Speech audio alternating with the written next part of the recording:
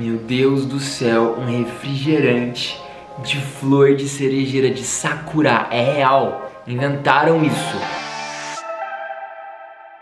Ah, Coreia. Capital mundial do skincare e da pele perfeita. Paraíso dos doramas e de amores impossíveis. Além de ser um país riquíssimo culturalmente e cheio de tecnologia. Olha só como o seu é bonito, hein? Pelo amor de Deus, a capital da Coreia do Sul foi um lugar que eu me apaixonei, eu adorei e não vejo a hora de voltar. Mas além de tudo isso, Dona Coreia tem o quê? Olha só o que eu tenho aqui. Sim, a Coreia do Sul tem as coisinhas mais diferentes, bizarras. E algumas são deliciosas, mas outras nem tanto. Então, se você está chegando agora neste canal, já deixa seu like, embarca seu like que é muito importante pra gente. E também se inscreva se você.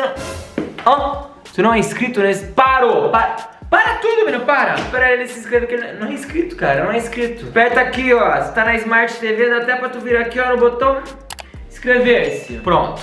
Já podemos começar o vídeo. No vídeo de hoje, se você sabe ler, você já sabe o que vamos fazer. Vamos provar comidas coreanas. Primeiro, quero agradecer ao Rick Doces que mandou uma caixa cheia de comida coreana aqui em casa. Esteu, é um grande publi Não é, não é publi nenhum. Um seguidor que tem uma loja que importa comidas aí, né, que importa vários doces, coisas malucas. Ele mandou uma caixa cheia de coisas pra eu provar e eu vou provar. Falei, por que não fazer um vídeo mostrando as coisas mais doidas que temos em La Coreia? Então, este é só o primeiro vídeo da nossa série provando comidas exóticas exóticas. Vou começar com uma coisa leve aqui. Pera aí, tu... Segura aí, gente. Segura um minutinho aqui. Produção, calma. Eu sei que tem coisas incríveis nesta caixa, mas eu quero começar por algo básico pra gente começar a abrir o apetite. Olha isso aqui. Nós temos aqui onion rings flavored hot and spicy.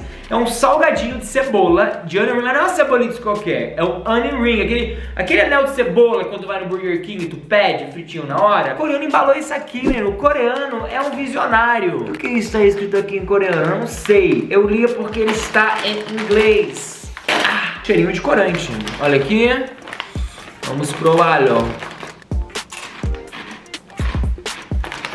Bom, agora diz aqui que ele, que ele é hot and spicy, quer dizer que ele é apimentado, mas não achei não. Prefiro anéis de cebolas do Burger King. Ainda falando sobre salgadinhos, chegou na caixa também, salgadinho de lula. Lulito, sabe lula do mar? Pois é, o coreano também conseguiu embalar lula, ó. Mas parece biscoito que meu, meu cachorro comia. Vamos ver isso aqui.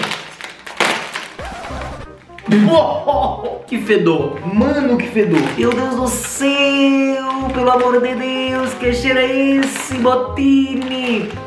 Nossa senhora! que ele parece? Ele parece, sabe o que? Amendoim quando tá na casca. Tu já viu amendoim na casca? Juro, o cheiro tá com cheiro de comida passada. Deixa eu ver se que tá bom.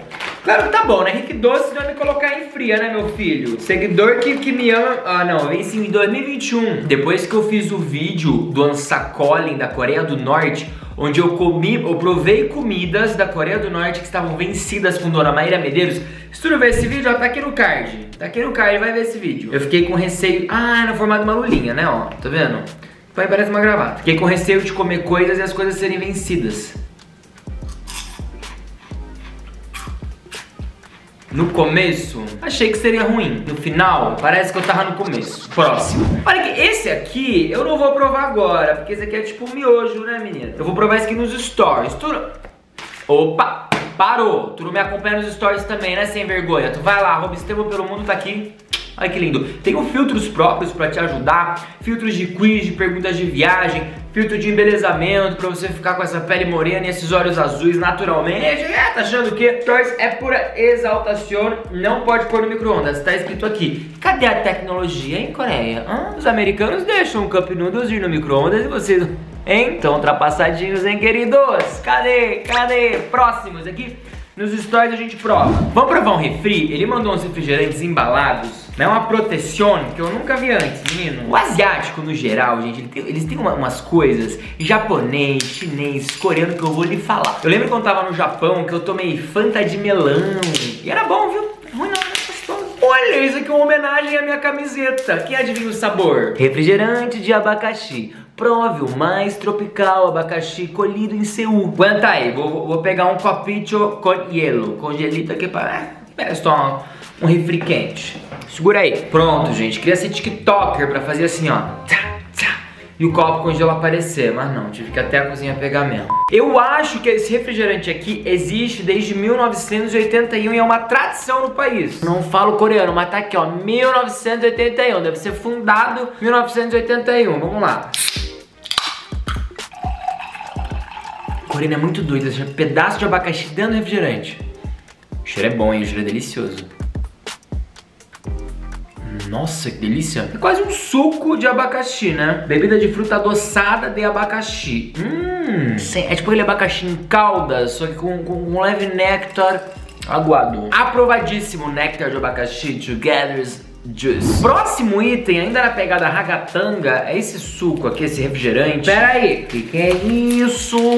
Que vem embalado assim, de um jeito, menino. Tá nascendo, nascendo e nasceu, menino. Deus, que embalagem perfeita, meninos e meninas também. Olha isso aqui. É um P. Eu gostaria de analisar a embalagem coreana porque ela é feita algo que faz todo sentido. Ao invés de colocar um humano tomando um suco de pêssego, eles colocam pêssego. Olha, é um pêssego que está amando um pêssego em forma de coração. Eu não tô um heart, my heart will go on. E temos aí algumas informações importantes, olha, ele tem 10% de quê? Ninguém sabe o que tem, mas tem 10% de alguma coisa. Tu que fala coreano, dá, dá uma pausa aqui, ó. Print isso aqui e me diz o que quer dizer. Nossa, que aroma dos deuses. Se é uma fruta que tem um cheiro bom, é pêssego, né? Ou coisinha cheirosa. Vamos aí. Ai, pegar outro copo. Ai, eu não posso ser TikTok e fazer assim, hein? Nossa, querido, que poder de TikTokers. Olha, esse aqui é um refri, ó. Ó o SMR. Olha, olha as bolinhas. Tá ouvindo? É o poder da química gasificada. O aroma é sensacional. A cor é a cor de pêssego, né? Parece uma... É tônica, parece uma tônica.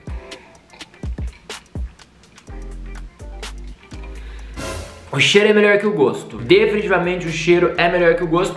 É ruim? Não é ruim. Poderia ser melhor? Poderia, porque pra quem bolou uma embalagem dessas, não custava nada, né? Investir um pouquinho mais no sabor. Mas ruim não tá. Próximo agora é um passo avançado do Tech Techers.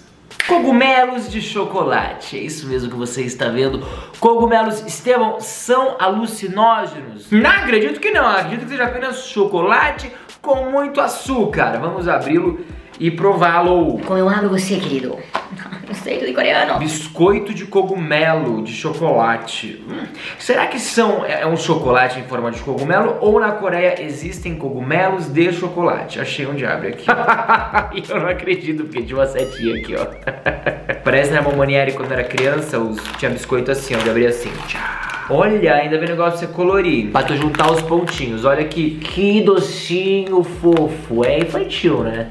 Fala, Estevão, doce maduro. Não muito, tá? Ainda dá pra criança colorir e ficar entretida nessa quarentena. Aí aqui vem uma coisa que eles adoram na Ásia, principalmente no Japão. Eles enfiam a embalagem na embalagem dentro da embalagem. Tu imagina assim, não. Os países asiáticos, né, tipo Coreia e Japão, vão ser super ecológicos, super verdes, não vão usar muito papel, não vão usar muito plástico. Engana-te, cara, gente. Engana-te. Essas pessoas usam tanta embalagem. Eu lembro que eu comprava Kit Kat no Japão, vinha um pacotão do Kit Kat, aí vinha o Kit Kat, é um plástico dentro do Kit Kat, pra cada Kit Kat dentro do Kit Kat separadinho. Ah, pelo amor de Deus, uma embalagem era suficiente? Hum. Ah, bonitinha. Legal. Olha, mira, mira que guapicho. São cogumelos de chocolate, ó. Ah, bonitinho, né? Vamos ver se é bom. O cheiro é delicioso, né? Nossa. Hum. Estevão, esses cogumelos te deixam levemente, hum, levemente doido. Sabe por quê? Contém açúcar. Quem não gosta de açúcar, né? Hum. Adoro açúcar, menino. Cogumelos mais do que aprovados.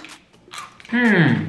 Próximo. Meu filho, se você nunca ouviu falar dos koalas de chocolate coreanos, você não, nunca ouviu falar. É isso, é isso, nunca ouvi falar. Quando eu era criança, essa caixinha aqui custava uma fortuna e eu lembro que eu sempre queria comprar pro recreio, mas era algo assim caríssimo, inacessível, difícil de achar. E eu não tinha não comia no meu recreio, mas alguns amigos do colégio levavam no recreio, eu achava o máximo. Eu tinha uma amiga coreana no, no colégio, a Clara, a Clara levava isso aqui, eu lembro da Clara, Clara Choi. Levava uns negócios, é ela que eu provei a primeira vez com ela. E agora, pelo que eu tô entendendo, a Balduco tem isso aqui, isso aqui é da Balduco. Aí você pensa, Estevão, Koala não é da Austrália, mas os coreanos vendiam E a Balduco na indústria brasileira, eu não sei, minha cabeça está em parafuso. Me explica, olha isso aqui, que fofura. Aí tu abre aqui, a gente tem as caritas dos koalas, olha só. Isso aqui é sensa, meu, é sensacional, Brasil, sensacional. Olha, menino, olha. É igualzinho os koalas da Coreia de quando eu era criança. Quando eu era adolescente, pré-adolescente, criança. Olha que bonitinhos. Vem desenhado koala. E aí, cada koala tá fazendo uma coisa, tá vendo, ó? Tem o koala bebê, que é tipo a mãe com o seu filho, protegendo e perpetuando a espécie. O outro koala aqui, mais tímido, com sua cria bem bitiquinho. Tem o koala independente, que é já o que é o koala universitário. Tem a koala fashion blogger, tá vendo essa aqui, ó, pronta pra dar uma dica de estilo e presilha no cabelo. Hum. Hum. Deliciosos. Meu Deus, continuam sendo deliciosos. Hum. Vou te falar. Vamos de koala universitário. Hum. Hum. Hum. Uma palma pra essa espécie. Opa, mas voltei que eu queria deixar claro que entre o koala e os cogumelos de chocolate, os cogumelos de chocolate ganharam assim, de lavada. Koala, vocês são gostosinhos, são fofos, mas assim, o cogumelo de chocolate, ele balança as estruturas. Próximo. Esse aqui é de Taiwan. Esses aqui, ó, como vocês podem ler, tá nos ingredientes das instruções, são bolinhos de custard. O que é custard? Então explica pra mim isso aqui. É basicamente um bolinho de pudim. Então deve ter um leitinho, uma, um ovinho, a gema. Vamos prová-lo. E esse aqui é um bônus round, tá? Porque ele veio no meio dos coreanos, mas ele é de Taiwan. Olha, esse é SMR. Última vez que eu abri um negocinho desse da Coreia tava um cheiro, né, Maíra Medeiros? Você bem lembra, minha amiga? Não, mas esse aqui tá fresquinho, ó. Nossa, sente, sente... Olha a fofura que tá isso aqui. Mas é uma fofura. Parece é um formato de um pastel do Belém. Nossa, delicioso. É tipo um bolinho. Isso aqui com café é champion, é campeão. Baunilha, ó, e o recheio é esse creminho de leite, com gema, com amidinho. Diz que se tomar com refrigerante de pêssego, meu filho, fica uma iguaria. Não muito. Maravilhoso, vamos ao próximo. Vamos conectar, Faria. Vamos ao próximo. Salgadinhos Nongxin. Olha, esse aqui é um salgadinho de batata doce, é é um salgadinho saudável coreano. O coreano maromba, aquele coreano que vai pra academia, mas quer comer a sua porcaria. Ele vai pra academia, mas ele quer o quê? Ele quer, ele quer um amido de milho, ele quer o quê? Ele quer uma batata doce. Cheirinho de sódio, olha, mira, mira, mira. É bem formato de batata frita. Você não sabe se essas manchas é alguma coisa aí que não deveria estar tá aí, ou se é um tempero. Eu vou o quê? Torcer pra ser um tempero. É doce. Aliás, é batata doce, eu sei, mas é porque a batata doce não é doce, né? Batata doce que a gente come, por exemplo, uma batata doce que eu faço em casa, não é doce. Isso aqui é bem doce, ó. É açucarado. É ruim, não, mas não é um salgadinho, é tipo um... Reclamou, já tá no quinto, né? Sexto. Sétimo. Hum, hum, hum. Aquele refrigerante pêssego, né, pra descer. Gente, olha isso aqui. Espaguete de soja preta. Olha isso que mandaram aqui. Korean Black Spaghetti with Roasted Chanjang Sauce. Chanjang Sauce. É o Korean Black Spaghetti, que é o espaguete preto coreano.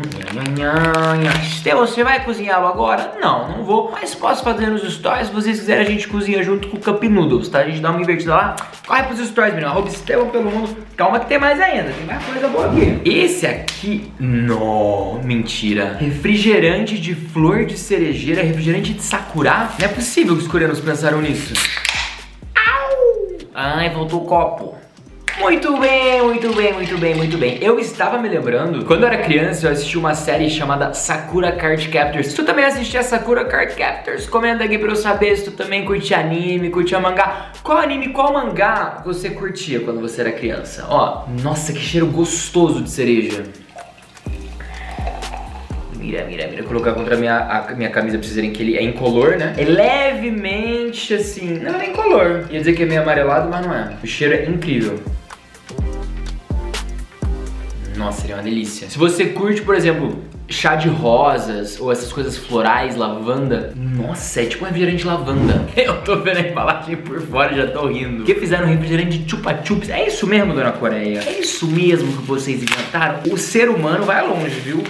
E o coreano mais ainda. Meu Deus, olha a coisa, eu nunca tinha visto nada parecido. É um refrigerante de chupa chups. Vocês se lembram do chupa chups? Se você, caro viajante, foi o quê? Foi a criança aí dos, nos anos 90, tu te lembra do chupa chups? Acho que ainda existe, né, chupa chups. Esse aqui é um refrigerante de laranja sabor chupa chups, é isso? Vamos ver o cheirinho. Aí pegar o copo. Ó, podemos ver que ele parece que parece uma Fanta laranja, né? Não, o cheiro é bem diferente da Fanta laranja. Estevão, qual é mais artificial? Difícil, hein? Provar. Gostoso, ele é meio ácido, é tipo uma Fanta laranja mais ácida. Gostei, gostoso. Ó, chega a ser mais doce que a Fanta laranja, chega a ser tipo pirulito, né? Que o chupa-chups é o pirulito. Agora nós vamos ao último... O que, que é? Tu não deu like? Parou. Antes da gente ir pro último item deste vídeo, tu vai deixar um like neste vídeo e vai comentar aqui qual foi a comidinha que tu achou mais legal ou mais estranha. Combinado? E se você puder me ajudar compartilhando esse vídeo com as pessoas no Facebook, mandando para alguém no WhatsApp, isso ajuda demais o nosso canal a crescer muito. Você também não pode esquecer que, opa, opa, opa, você pode ser um membro deste canal, sim. Se você quiser, você pode participar do nosso clube de membros exclusivo, onde você escolhe uma classe para o embarque e tem acesso a benefícios incríveis e ainda ajuda este canal a seguir existindo. Uma belezura, não é mesmo? Uma belezura.